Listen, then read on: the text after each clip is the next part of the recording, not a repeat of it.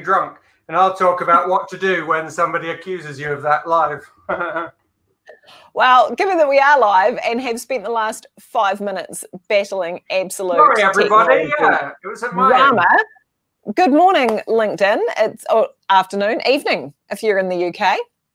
Uh, it's very nice to see you all here today. I'm here with Max McKeown, and we've spent the last six, five, six minutes dicking around. What's going on this morning, Max? Are you drunk?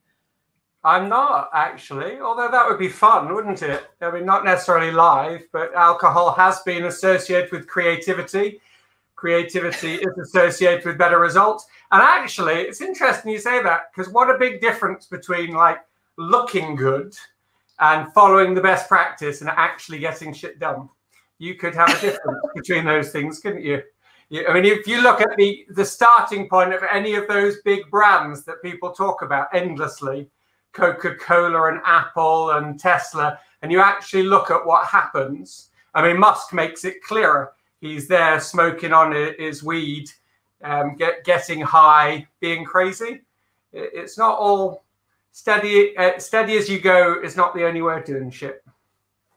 Well, no, it isn't. And actually, I was reading. I was uh, so I spent last week no. Oh, my time has gone very weird. I've just had two weeks off and this is my first day back at work. And so my concept of time is all over the place. But two weeks ago, I spent the week in a self imposed retreat finishing yep. uh, my, my, second book. But one of the things that I was writing about is about. Oh, hold um, on, Alicia. Was that your second book? Yes. Do you want to have a look? Congratulations. Well done, you. Second book. Thanks you can have a look at it when it's all was yeah, together. yeah, well done. Why not? Thank you. Uh, but one of the things I write about in the book uh, is about strategic influence uh, and how to have impact at scale. And I went down a rabbit hole, as you do, which you will know very well when you're researching a book and you have an idea about something, and then you wind up five hours deep inside a Google trail about things that you never expected to learn about.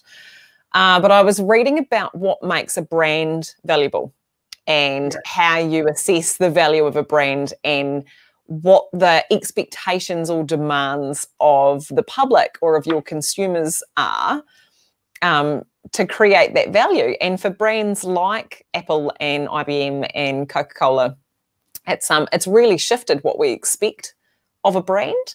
And so just having um, having the right features and benefits or connecting with us is no longer what we want.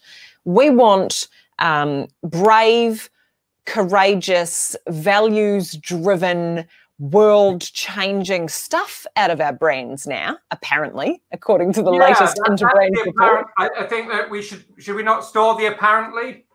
I, yes. I think there's this huge difference, maybe, or a potential gap, or we shouldn't assume there isn't a gap between what we, some people, experts, particularly marketing experts, HR people, think we want and what actually people buy because there's a difference. But I don't think that we know what we want, do we? You and I both know that what we think we assess performance or effectiveness by is not true. So we think we value competence, but we don't. We value likability and we think we value the features of a product, but we don't we we actually value how it makes us feel who we are as a person. And you know so it, this becomes this bizarre little amorphous blob of stuff because well no one else probably really understands what we want but neither do we. Yeah no not all the time. Uh, there's and there's always that potential gap between what we say or what uh, somebody claims is important and what they do. Of course there is when you come to. I tell you who this is hard for. You know who hmm. it's hard for. This whole we don't know what we want. You don't know what we want. You can't trust any of it. It's politicians. This is who it's hard for. Um, because they're trying to guess what we actually want and deliver that in a way that makes us want them. And there's so many different layers of guessing going on in there that like I've almost got some compassion. So we've got a general election, a national mm. election in, in New Zealand, and we're just firing into election mode now. So our elections are in, uh, I don't know, September, October. I can't remember if COVID's shifted that. And um, and everybody's gearing into election mode now, and they're all doing their best guess of what we want out of them and what we don't want out of the other. And it's quite fascinating as a study of human behaviour to watch just adults and the way they behave in that arena. Well, particularly in that arena, because everybody can be in there, and all you really need is an opinion. You don't need any evidence. You don't need track record. You could just have a big lie that works. I mean, there's there there's information that flows. We, we were walking around a lake today, and people were feeding the swans bread, and that that doesn't seem such a good idea. Or in the UK, uh, it has one of the lowest compliances with face masks in the world, and nobody quite knows why. So why does some information travel and affects behavior and becomes embedded, and some information doesn't. Uh, you know, who decided that women were emotional, for instance? Uh, so these uh, uh, and weren't as reliable. Who decided that? Who decided that? So, so some information read, travel, um, some sticks. What's that book? Made Made to Stick. Have you read Made to Stick by the Heath brothers, where they talk yeah. about what makes an idea sticky? Yeah, I have. Yeah, yeah, that's a that's a good one. I'm trying to remember what the components of it are. It has to be relevant and reach on a personal level. It has to be but interesting. yeah. And then there's idea virus, that that kind of idea, and then an idea is the Dawkins thing. Idea is a meme. But what travels, or, or mine making ideas easy to swallow. But what what travels, and then what stays, and then what becomes a, a habit. And I, I mean, a lot of the work that I do is trying to help people to move beyond just filling in their next document and actually move to something that they'd like to do, like they'd like to achieve, figuring out what the desirable end is and how to get there, and then all those defensive routines that, that stop them getting there. I mean, I imagine there's easier work. I, yeah, well, maybe. Yeah. But I like that. And one of my favorite things to do client wise is just to run thought experiments. Because I think if we're talking about what makes an idea stick or flow or travel, um, what what happens is it becomes part of a, a, story or part of a narrative. And the problem mm. with ideology or with a story is that we stop realizing that some of those things are assumptions and we start to accept them as just the way things are and we build on top of those, right? Yeah. And so finding ways to just put cracks in some of that ideology and go, but what if what if that wasn't true? So I had an idea yesterday um, on, oh my God, Max. We took our three kids on a road trip for a week and the rain, and it was just ridiculous. But we can come back to that. But anyway, an idea I had in the car yesterday. well, not to do. maintain my final pieces of sanity. Uh, was some of the problem with the political cycle is because oh that's right because we were passing election hoardings you know big billboards of just ridiculous slogans that are clearly supposed to have people go yeah too right and I was, and one of them is we've got a new Conservative Party that's been established for the election, as happens, uh, and they were saying zero carbon, no, thank you. Helping farmers, yes, please. And I went, oh, like it was quite distasteful. But then I thought, wouldn't it be good if the story we had around politicians or the expectation or the narrative we had as a society wasn't that they serve us? What if our expectation was that they were only able to make decisions that had a 10 or 20 plus year lag on their effectiveness. And so we'd say things like, oh, did you see the new act? Yeah, it's a nightmare, but you know, it's not about us, is it? Mm. You know, that's that's the thing about politicians. They don't help you today, but they're good for the grandkids. Like imagine if that was our expectation. What yeah. that and it, it wouldn't take much it's just a story, right? I, I, it's just a story that we've created where, as part of an election, we've gone, who's going to put more, 20 more dollars in my pocket next week? How dumb is that? I, I think you always have a, a challenge between those who go for the very simple message because what they're good at is reflecting what their natural audience wants so yeah. they are that they became influential because they reflected what their audience wanted. Wherever they come from, they just say the shit that people around them say. It's a bit like I don't mean necessarily that it is shit. It's just no, it is just, shit, Max. There's a the couple they were like prisoners voting. No thanks. Oh. And they've heard, remember they've tested that by the time I don't just mean in the modern sense of testing the behavioral responses online. I mean they have naturally been attuned to I say this, this is the reaction. Just like a comedian gets a laugh, this totally. politician gains power because they get to reflect and copy what is good. So I may think, well, that doesn't make any sense. Why are you saying it? But they're saying it because it's played well to an audience, and they may not even know that. And I think the challenge for those of us who want to sit back from that and deliberately change something is, of course, it's harder. It is harder to change something in an effective way because we're not hearing that. We're not hearing that demand. We're having to make that demand. We're not just hearing those phrases. We're having to improve those phrases to get somebody somewhere and overcome defensive routines. So, so You've got to make them up. You can't just mirror it. Yeah. Well, you could. I mean, McKinsey at the moment, I, am not really knocking them, but apparently they've done hundreds of millions of work on the current global panic. But is that why are they getting that work? Is that because they're really delivering the very best answers? Is that because they're trying to change things in an effective way? Or is it because they're very good at creating a dependency and mirroring what people want to, to hear at the right time in the right way so they feel part of them? And if you compare that kind of work with, say, the Black Lives Matters work, which could fade, could fade away because it's not mirroring the, the concerns of some of the people who aren't affected by it. Yes, it, right. indeed. And they, they then run out of energy for that. So McKinsey take you when you're, as an example, when you're in pain, and they sell you the thing that makes sense for you to look good and sleep well as a senior leader.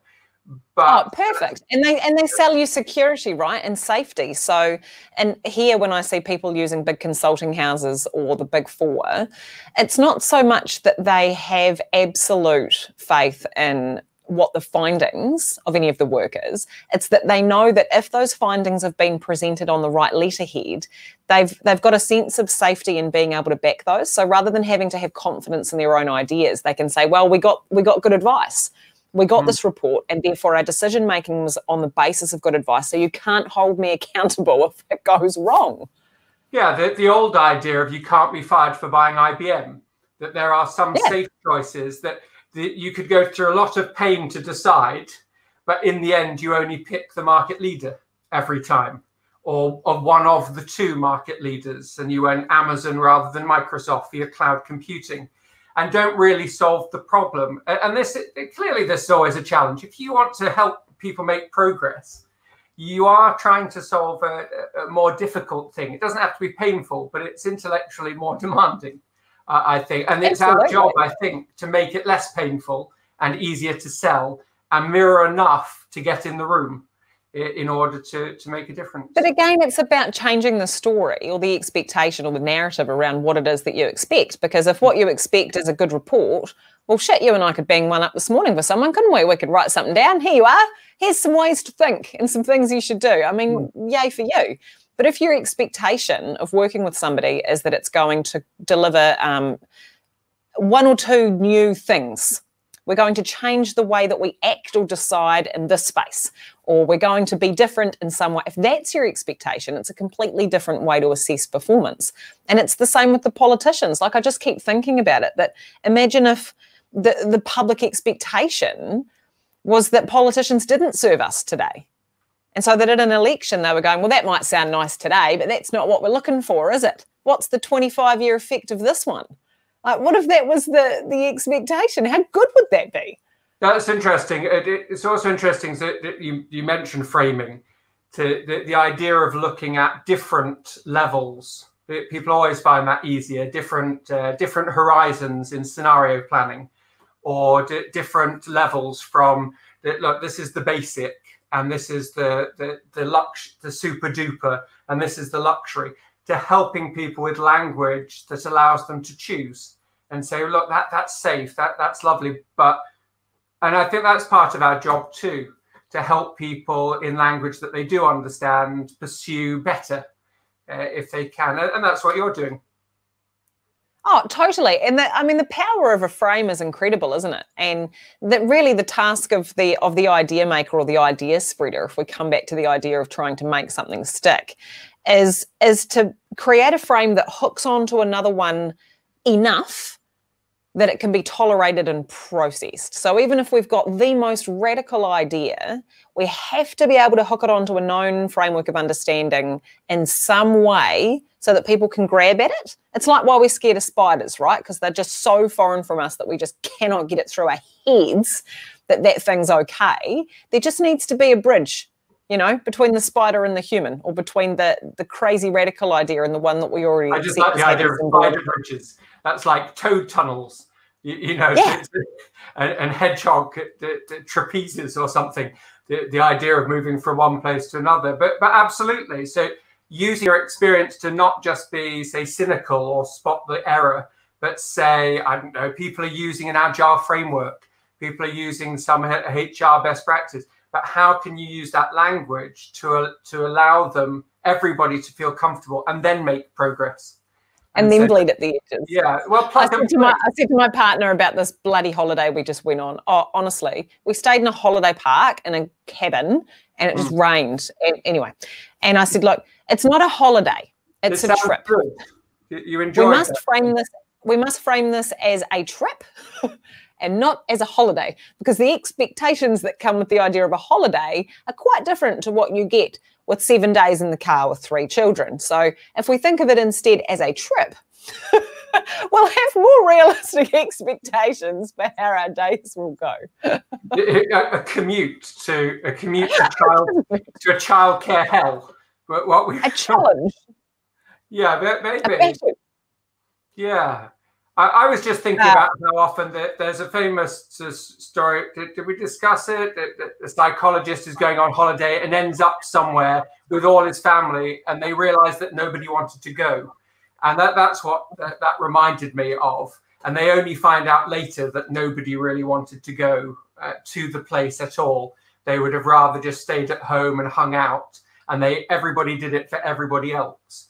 And that's again, Yeah. uh, how I think we had an element of that, except that my teenager was quite clear, quite unequivocal about her position about whether she would like to be on holiday with us for the week. Uh, and she did not. but she came But she came with you anyway. Well done, Alicia. Congratulations. because she had to. Uh, yeah. Anyway, okay. So thinking about um, what makes what makes an idea powerful, and what makes a brand resonate and stick. I detected some skepticism earlier around the idea that people are demanding um, some kind of value connection from from ideas or from brands. Do you not think that's true? I, I think that we shouldn't take it, assume that it is, or assume that we're communicating that accurately. So the, the, there's both sides. There's, I guess, what somebody wants as a sell. They say they want food to look healthy, so you write some healthy stuff on. Um, or they want their food to be good to animals because nobody wants to buy cruel food, you know, food that has been cruel to animals. And there's just a gap between what is sold and what is bought. And we see this quite a lot. So, so the idea, I guess, as a company is you have to be able to uh, deliver the good for you. Uh, I think much more than for the consumer. I think you have to say, look, we would like to do this in a good way, as opposed to um, have that fight, as opposed to just we want to look good to, to the outside world, because the outside world may not be paying any attention. You know, you have to have the energy burning inside and then get those benefits. If you want an equitable organization, if you want a green organization, if you want a renewable organization, you got to do that for, for you and the people inside, not just to get awards, plaudits, and sales. Are people paying attention? Hard to tell. Well, that's the difference between selling something and bringing people along, isn't it? Mm. So I've been thinking about this distinction a little bit, which is if you're a brand, you only need to get as far as buy my thing, right? Just give me your money and buy my thing. And I think that's in many ways a lot easier than trying to activate people to, to follow you and to change their behavior and to change their thinking. It's a it's a completely different threshold of influence and engagement. Like, sure, I can get you to buy my thing, but what I really need you to do is to believe it and to make it real and to do something with it and to spread it and promote it. And the the threshold for activation is quite different than the threshold for engagement. And I've been sort of flirting with some ideas around what that really what the the magic, the golden egg of, of activation is. How do we how do we get there? And you know, there's there's some great stuff around tribe building and around how you engage people in a movement. Um, what what I found most interesting around the activation stuff is how few people we really need. Like it's it's not a numbers game. So when it comes to like if we go back to the political stuff, when it comes to mm-hmm. regime change, citizen initiated revolution, the magic number, the magic tipping point is 3.5% of the population. If you can activate 3.5% of the population, there's this magic tipping point where it's almost guaranteed that you will get regime change. And I'm not sure that that same number extrapolates out to organisational change or to idea, um, to, to the idea factory, but no, it, I suppose it always depends on which 3.5 percent, for, for instance. I think that the the, the what resonates with, with the, what I've looked at is that you don't need everybody to to agree with something in order to to tip foot forward. Uh, you need, for instance, if you you split a company up into ten groups, you only need just over half of each of half of the half. You don't need everybody to agree, and if you get the people who are in power to agree, you need even fewer, perhaps, even though you need Correct. flow.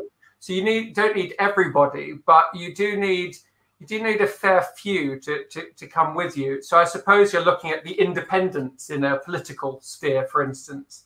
You're, looking for the three to five percent who tip the election, who are reachable rather than those who are not reachable. Yeah. Because well, most people just sort of go along with things, don't they? Like if you think about Apple and you think, sure, there are a few people that sleep outside the shop before the new iPhone comes out.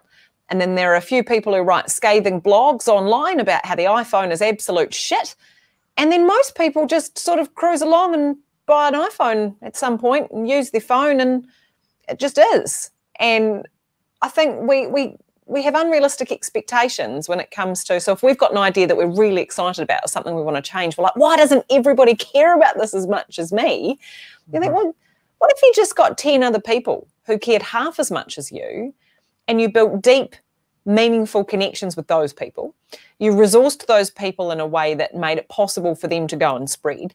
And you niched your communication and influence in such a way as to bring those people in even further and even deeper. You know, it's that whole 1,000 true fans, uh, Kevin Kelly theory, where what if we just did that? What's the 3.5%? Uh, from a regime change sense that when it comes to a new idea in a society or in a uh, in an organization I don't know the number, but I'd like to. Uh, yeah, regime change. I, I, I suppose uh, I'm always in it. It depends. I mean, it, whatever gets you through the night person. Uh, and I think that, I mean, you're, you're you, you, you, were saying, I think you were saying online, weren't you? Your energy was the thing that people put energy and confidence. So I think it just uh, d- depends on the situation and seeing whether you need is it 3% you need in order to tip the, the balance between this group and this group? Or is it repurposing a very popular phrase? Uh, and that that's the phrase that already has currency. Which certainly what you're talking about is, you know, I talk about nurturing ideas as babies. Uh, but oh, before... I do like that. My favourite thing you've ever written is that ideas are like babies, ugly and not done yet. I just, I just love you that. I use that ugly. all the time. Yeah, uh, and not finished yet. And the baby yeah. starts before really idea sex happens before that. You know, you got idea sperm, ideas eggs, uh, whatever. They've got to get together. So that 1st all about this metaphor. and then you've got to, but then the doubling. So you, what you're describing you know you start from that that level they combine and then you double and double and double and double and you end up with a baby and then the baby is born but the baby's still not finished yet. And the baby becomes 10 and 20 and has crises but is still not finished yet and is available for connection with other humans. So i suppose if you're always doubling your, your partner who's there you know you're working with somebody to make sure that the texts work that's doubled your influence. And some of the all the people you're talking about, the regime people, they're looking for increasing their influence. And taking on what is already influential the clothes, the Gandhi type thing, dressing for effect. When he's in London, he wears a pinstripe suit and is a lawyer. When he's in India, he, he wears robes because that suits the acceptable view of an influential person. Martin Luther King, he's speaking words from, from the Bible because that resonates with his group. Trump, even, you know, I'm clearly no Trump fan, but he he is a Fox grandpa and he is appeals to Fox grandpas because that's who he is. So if that's the high point, so I think we can learn a lot from all of those things about what, what does it take for an idea to be nurtured, uh, and part of that is what, what allows our idea to kind of pass to the next stage, the next barrier. What, what is it? You know, with chemicals, how do you get them into the brain? You have to wrap them up and get them through the, the blood brain barrier. And so you have to understand how to wrap them up. And you're doing that naturally, clearly at the moment. You know quite naturally how to get your ideas and your services into a, an organization. You come from there. You know their point. Wrap it up. And you wrap That's it up. Nice. I was thinking uh, last week, oh, like I say, time is weird. The week before, when I was writing the book, I was I went off on a daydreamy, metaphorical journey about how writing a book is like having a baby but particularly writing a second book is like having a second baby because you kind of forget until crunch time what it's really like. And so it's been long enough since the last one that you romanticize the idea of it. So, you know, your first child gets to 18 months old and you're like, oh, I miss when they were a baby. Oh, it's really sad. We should have another baby. So you have another baby and it's all well and good until like a week before you're due to go into labor. And then you go, oh shit. And you get this flashback and you remember what it's like. And then you and then you get your baby and you're like, oh, this is bloody hard. This is a nightmare. How have I forgotten the sleepless nights and the drama and the it's kind of like that with the book. Like I was really excited about it and then I remembered what that final push was actually like. ah, forgive the Yeah, with, with, with, with birth comes amnesia. Or nobody would have another yeah. child, uh, and, I and suppose then, like, you, you love it. You love it a lot, but also you kind of have to because it's yours. And if you don't, you just put it in the bin and then nothing works. And it's like that with babies. And then you've got to two babies though too. That, that's the next thing you'll have. Your book will come out into the world, and now that book, unless it replaces oh. the first one, you have to oh. now two, and you have to that's decide right. who's your favorite. Now, if it replaces the first one, that's okay. But if you want to kind of keep both alive, uh, how, which if it was real going to you, you know who's your favorite? It, you're both and you sort of like the first one has like eased the way and, and sort of looks after the second one a little bit or they, they can at least play together. And then yeah. I just had this lovely metaphorical extension while you were saying that and thinking, and then one day, some time from now, those babies will have babies of their own. Aww. And we'll see thinking come into the world when they join up with somebody else that yeah. uses that. Well, that's citation, that shoulder of giant stuff, really, isn't it? That, that is babies having babies, having babies uh, uh, and get, getting together. And I guess people who are positive say we can shape that deliberately to do some good, uh, as opposed to just evolution and ideas having their path, whether they create chaos or not. And they do create chaos.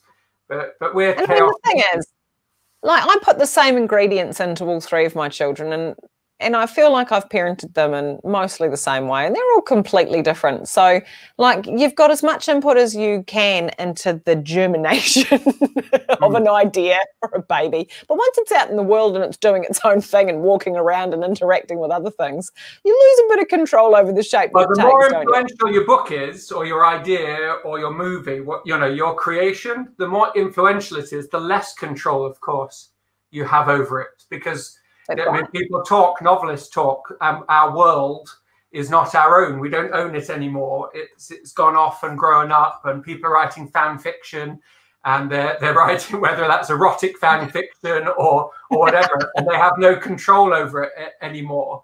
And that's good and bad. They interpret it the way they interpret it, and then you have revisions, and somebody does an exact copy, Marvel copy, DC and DC copies Marvel, and people who only follow one of those comics think that it's original, and maybe all of that stuff. So, so yeah, you don't have control, but it is fascinating seeing where it all comes from. This is lovely. I've really enjoyed getting together on a Monday morning to make idea babies with you, Max. Well, you know, it, has been it's been good.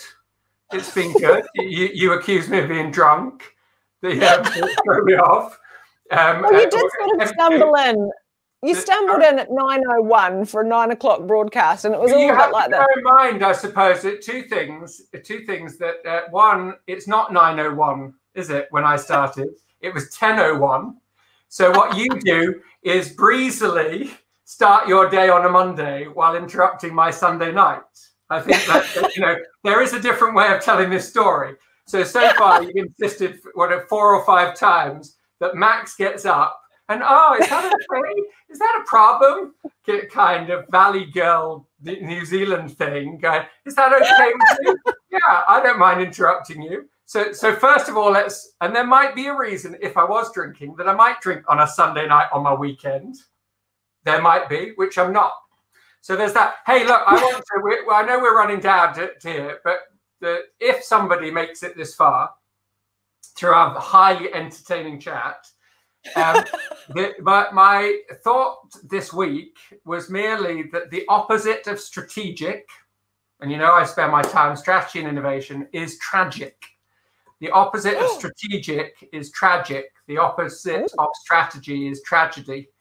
And that goes pretty deep in the end because tragedy, as we know, is about where one flaw, really, one flaw in your hero uh, leads to uh, a sorry end, just at one. It could even be their strength that leads to that. And the opposite really is. So in this country, we have tragic leadership, not strategic leadership. And so, uh, and that really is the difference because the wise strategist looks forward and says, How can I influence people? How can I influence that longer scope? And how can I influence the, the scale of change here? That's what somebody does. The strategist with his strategic arrow, that's the arrowhead, those three things. And uh, by hitting that kind of target, they overcome the tragic and deliver the strategic. Oh, that's a lovely thought to close on. Tragic and strategic. I'm going to sit with that. I'm going to have some idea sex with that. Yeah. Have idea sex yeah. all you want with that idea. Thank you. Yeah. I appreciate that I mean, very much. You need my permission. need my permission to, to, have, yeah, to, to do anything, uh, let alone idea sex. Yeah, uh, I'm all not right, giving more. who made it all the way to the end of our um, erotic ideas session, we do appreciate your attendance, and we yeah, would just, love just cut it, just cut it and put that bit at the start. Yeah, all right. I'm going to do it. I'm absolutely going to do it. You should. Itself. Yeah, ten minutes of that was worth listening to. I definitely think it was. All right. Well, have a fantastic day. All right. Take care. Bye. Bye.